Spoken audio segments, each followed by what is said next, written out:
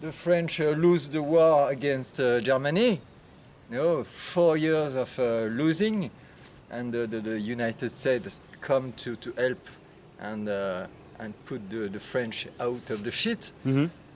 So after this, the French had to try to keep the colonies, you know, mm -hmm. keep Madagascar, keep uh, Africa and Algeria, and also keep Indochina. Stephanie from History Hustle, and I'm standing here in front of the War Memorial in Dien Bien Phu here in Vietnam. And in this video, I'll talk about the First Indo-Chinese War. In Vietnam, often referred to as the French War. After World War II, the Japanese troops laid down their arms and Ho Chi Minh saw his chance and declared independence by declaring the Democratic Republic of Vietnam in Hanoi.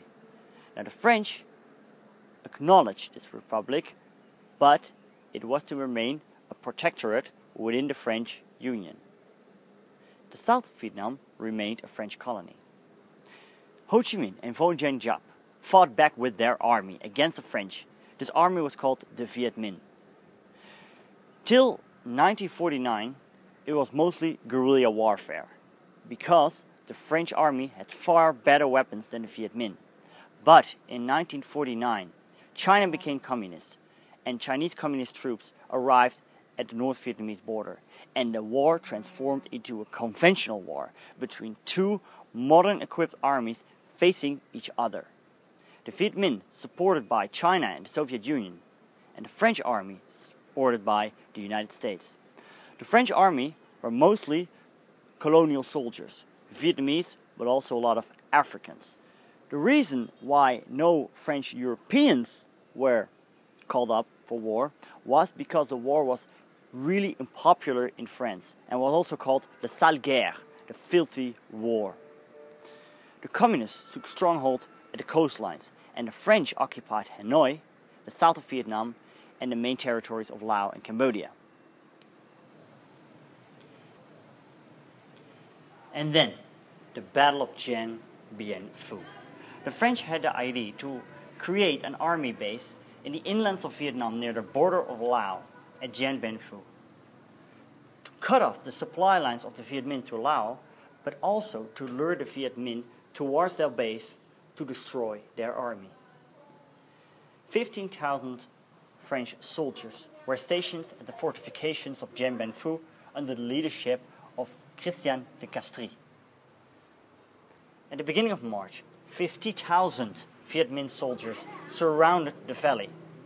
What the French did not know was that they were able to brought in their heavy artillery. At the 17th of March, they launched their first offensive fortress of Beatrice was taken quickly, and the rest of the fortress were heavily damaged. They were not built for such heavy artillery. Also, French airplanes and helicopters had difficulties with landing and could often not get up again because of the enemy fire. Therefore, the French got their reinforcements at the beginning of April by paratroopers. The Viet Minh dug themselves into trenches Therefore, the French were forced to bring their lines closer together. And then the rain started. Bunkers and trenches were flooded with mud. For the French, a deja vu to World War I. Because of the bad weather, French airplanes were not able to spot the artillery positions of the Viet Minh. Also, reinforcement material could not be delivered from Hanoi. And on top of that, paratroopers of the French were either killed in the air or landed into hostile territory.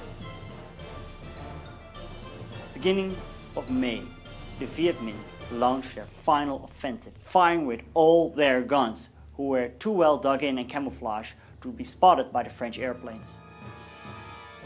At the 7th of May, at 5 o'clock, Christian de Castries sent his final message to the French headquarters in Hanoi. The Viet Minh is everywhere, we're blowing everything up. Long live France. And just a few minutes later, Viet Minh burst into his bunker. And they raised their flag on top of it. After 55 days, the Battle of Bien Phu was over. The French suffered 2,000 deadly casualties. Around 12,000 French soldiers were captured. The Viet Minh suffered far more casualties, 8,000 deaths, but they won.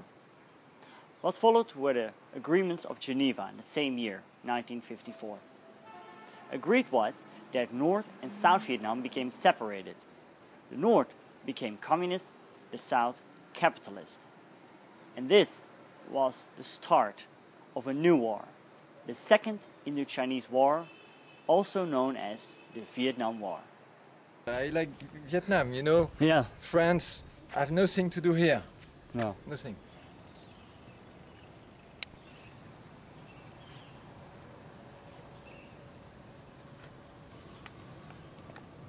bye.